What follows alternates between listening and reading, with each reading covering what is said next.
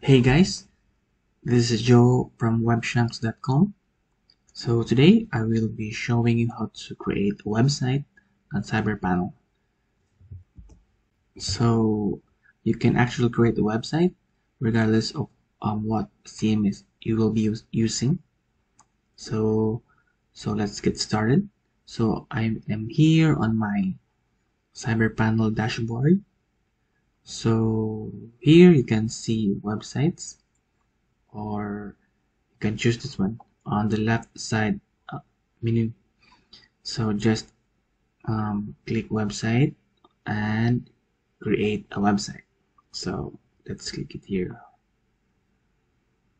So package is default. So by default we will be um, using a 5 gigabyte disk um, space and 5 gigabyte bandwidth.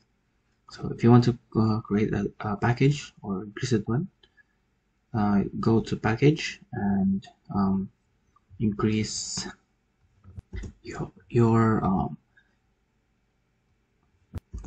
disk space and bandwidth. So I will be putting a link uh, on the description below on how you can um, increase your um, disk space and bandwidth. So owner admin. So this is actually a paid service from CyberPanel. So let's not um, choose this one. So domain let's select.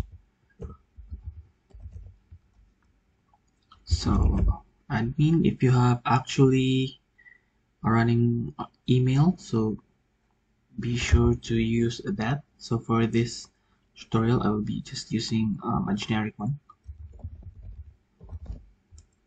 So PHP I am uh, I will be using 8.0 or higher. So for this tutorial I will be using 8.0 so I'll just click this three so never mind this one. Create website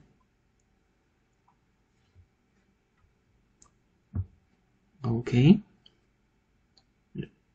It's creating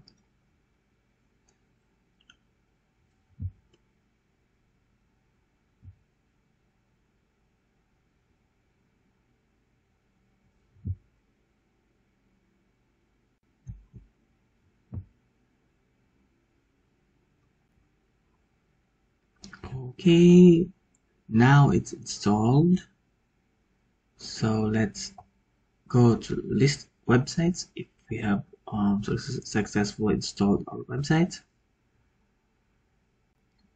Okay, here we are. So, so that's it. That is how you will create a website on CyberPanel. So if you have learned something, I hope you can like and subscribe on my channel so I can create more videos like this. So thank you for watching and I'll see you soon.